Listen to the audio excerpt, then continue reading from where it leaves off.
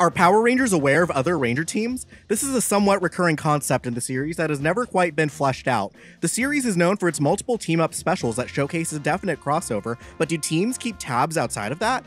Lightspeed is a military organization and may be privileged to certain information about other teams, as Yellow Ranger Kelsey recognized Leo as the Red Lost Galaxy Ranger, and Carter knew and was able to recruit both the Time Force Rangers and Red Wild Force Ranger Cole. Original Green Ranger Tommy also keeps a video diary chronicling the history of the Power Rangers. He seems to keep tabs himself, assembling the Ranger team seen in Forever Red, which also establishes that teams are in contact, with Jason remarking that he recognizes some of them, and Andros contacting Leo on the planet Mirinoi and Aurico on Aquitar. Other organizations seem to keep archives on previous teams, such as SPD and Grid Battle Force, who specifically studies old Ranger tech and is in contact with other teams like RPM. Some Rangers are also known to watch other teams, such as Red Samurai Ranger Jayden, and ah, stop staring. But him doing this makes me ask,